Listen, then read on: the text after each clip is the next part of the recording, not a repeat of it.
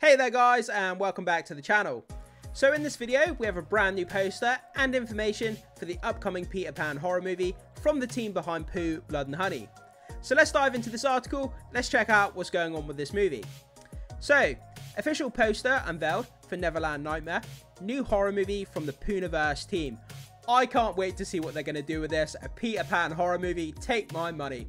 I mean we have Pooh, Blood and Honey 1 and 2, they significantly updated the budget for the second movie. Those two movies are so cheesy, so funny, but I think they're great. They're so fun.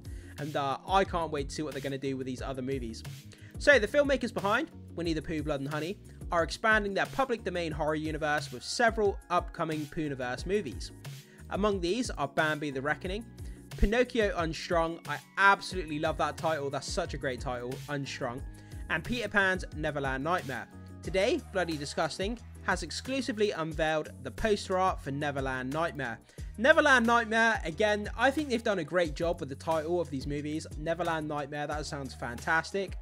So, director Scott Jeffrey, Peter Pan's Neverland Nightmare is currently in post production. So, from that, it sounds like they've shot the movie, it's complete, it's in the barrel, and uh, they're just working on the post production. So, check out the poster below and read on for all the details about this chilling Peter Pan adaptation. I mean, the synopsis and information behind this film is just absolutely mind-boggling. It sounds ridiculous. I can't wait to see what they're going to do with it. A Jagged Edge Productions film, distributed by ITN Studios, Wendy Darling sets out to rescue her brother Michael from the evil clutches of Peter Pan.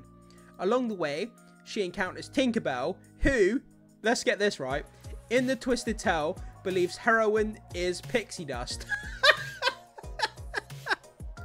I just need to read that again. So Wendy Darling sets out to rescue her brother Michael from the evil clutches of Peter Pan.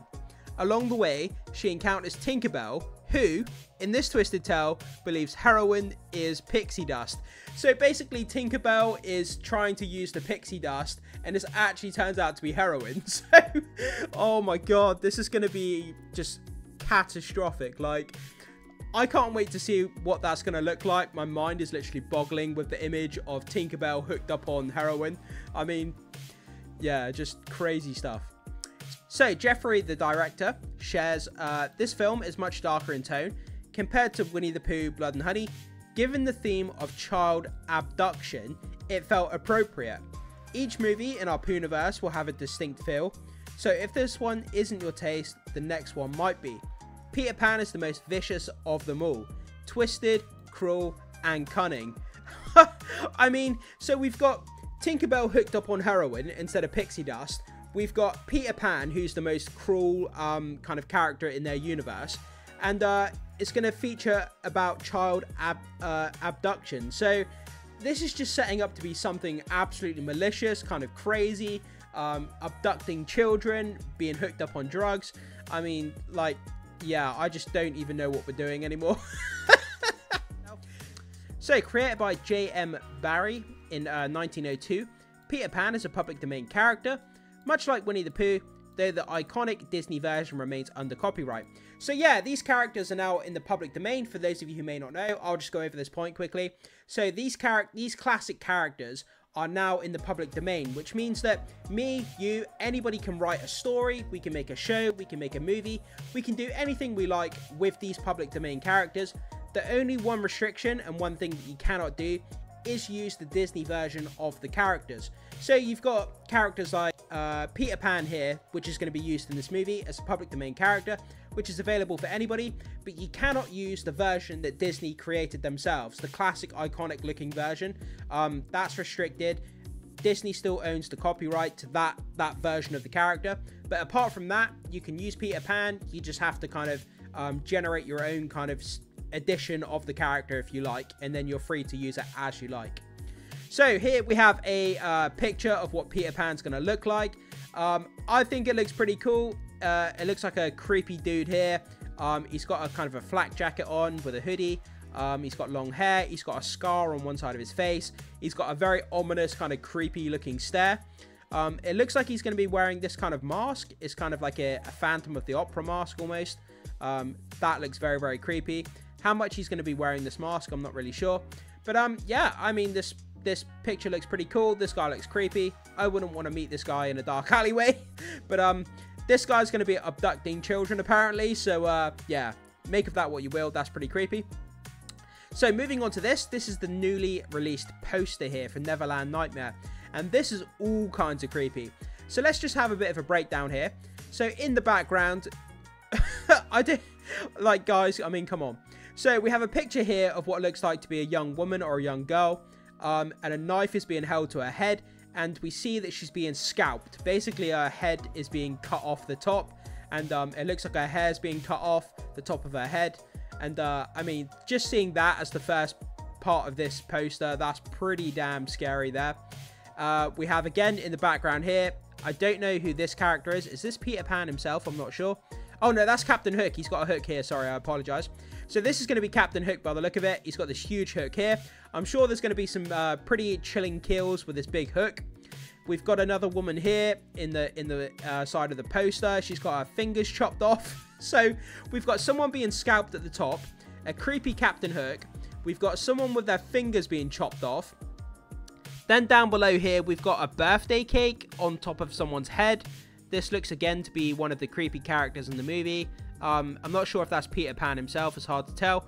But there's a birthday cake that's melted on top of his head. At the bottom here, we have, um, again, I think this is Peter Pan, or is that Captain Hook? It's hard to tell who these characters are, so I do apologize. We've got this creepy character popping out of the basement here, so this is kind of creepy looking.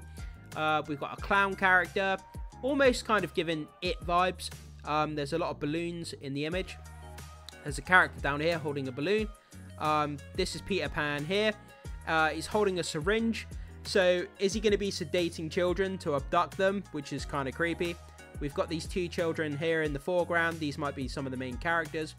Um, again, two characters here. But yeah, the fact that someone's being scalped here and then someone's got missing fingers, um, yeah, just creepy as hell. The birthday cake melting on the head, that's kind of funny, kind of cheesy, I kind of like that. But yeah, Peter Pan here, obviously in the middle of the poster. Again, he's got that mask that he's holding on to. So it looks like that's going to be a main part of the costume that he's going to be wearing, which is kind of cool. But yeah, guys, so that's the newly released Peter Pan Neverland Nightmare uh, poster. That gives you kind of the tone of where they're going with this movie. Chopped fingers, people being scalped. So, um, you know, if you're squeamish, I don't think this movie is going to be for you. But, um, yeah, it's definitely going to be absolutely all kinds of bonkers. Take my money. I cannot wait to see it. But that's kind of just where we are, guys. So that's just kind of a small update, uh, just showing the poster here. And this kind of image of Peter Pan here with this mask. Looks creepy, looks kind of cool. Can't wait to see where they go with this. They're building up this Poohniverse. They have said that they're officially going to be crossing over these characters. So they're going to have Pinocchio, Peter Pan, Winnie the Pooh kind of all crossing over for like an Avengers style team up movie.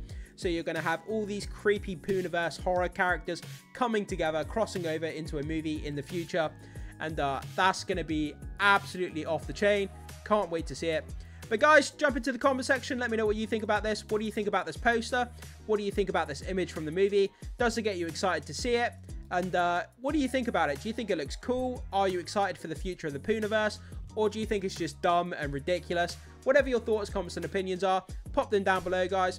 Hit that like and subscribe for more videos, and I will see you in the next one.